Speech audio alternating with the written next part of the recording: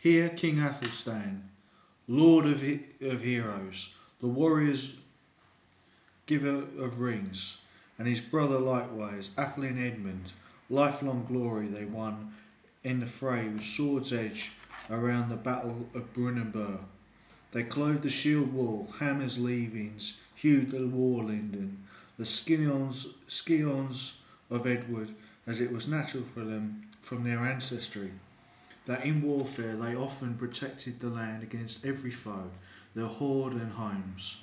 They, the attackers fell, the folk of the Scots and the seafarers dropped, doomed. The fields streamed with the blood of men. From the sun in the morning, the splendid star gl- glided over the lands, bright cradle of God, the everlasting Lord, until that noble creation sank to its rest. There ma- many a man lay, struck down by spears. The men of the north shot down through his shield, likewise the Scot too, weary, stated with war. Forward, the West Saxons, the whole long day, in mounted troops, stayed on the track of the hated peoples, hewed the fugitive foes cruelly from behind with mills sharpened swords. The Mercians did not refuse ha- hard hand play to any of the fighters who crossed who across the milling waves with Anlaf sought out the land on a ship's bottom. Cain fated to the fight, fi- still five young kings on the battlefield, slain with swords. Likewise, seven of Anlaf's earls, all untold raiders, seamen and Scots. There was put to flight the Northman's ruler, forced by need to the ship's keel with a small bodyguard. The vessel rushed on the sea, the king sped off. On the deep, dark deeps, he saved his life. There, the old man also came with his fleeing men north to his homeland, Constantine.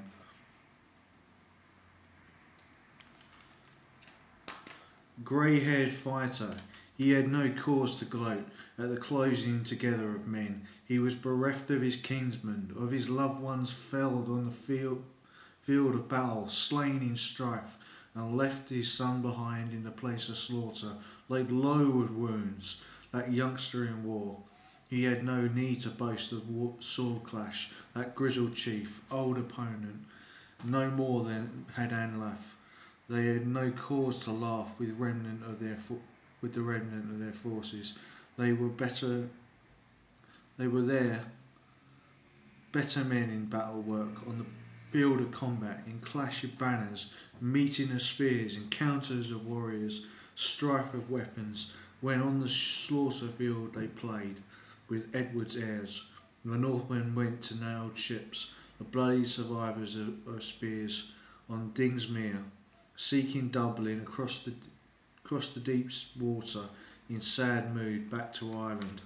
Thus both the brothers together, King and atheling, sought out their native soil, the land of the West Saxons, exultant in war. Behind them th- they left the corpses to be shared by the dark-coated one, the black raven with curved, curving beak, and the grey-coated one, the eagle with white tail, the carrion to be enjoyed by the greedy hawk of war, and the grey beast, the wolf in the wood. A great slaughter was not yet in, this island slain by an army before this with sword blades, as, book, as books tell us, ancient scribes, since here from the east the Angles and the Saxons came over the broad sea, they sought Britain, the proud war makers overcame the Welsh, the keen heroes won a homeland. That was the Battle of Brandon In it, Athelstan the Great, son of Alfred the Great, unified the country. He ejected the Vikings and the Scots, the seafarers of the title, and forced them back to Dublin, from where the the Vikings had made a base in Ireland. Athelstan the Great unified the country for the first time in its long history. Alfred the Great had written down uh, codes of laws, codes of rights to be asserted by men, in their in their lives and duties to be forced on them or taken up.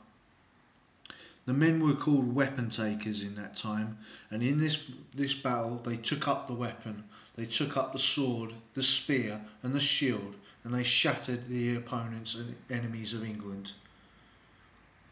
And they will rise and rise and rise again like lions over the centuries, conquering all enemies. This country was born to fight. It is we are the heirs of Hengist and Horsa. We are the heirs of Alfred the Great and uh, Athelstan the Great.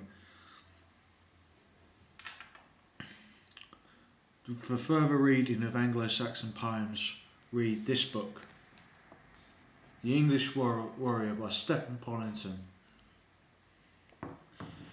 In it, in my next video, I will be talking about the Battle of Maldon, which happened before the Battle of Bannockburn, in the beginning of the uh, of the of the Viking Age. Thank you for listening.